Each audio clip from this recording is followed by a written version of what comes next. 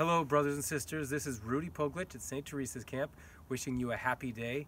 It's a nice sunny day here in early October, and I want to make an announcement that in anticipation of my birthday, which is November 6th, I'm going to use it as a, a fundraising tool again, and two generous donors have pledged to match every donation dollar for dollar up to a total of $3,500. So every dollar that comes in on this campaign will be doubled up to a total of $3,500. So the maximum is $7,000.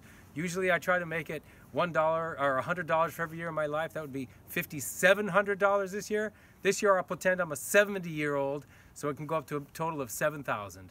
And this money will go towards helping counselors and presenters come back up for camp, especially for Glory Bound, which is coming up at the end of uh, December.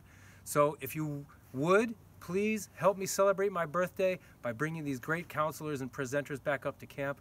Click on the green button over there and donate, and every dollar will be matched one to one up to a total of 3,500 so we can max it out at 7,000. God bless you.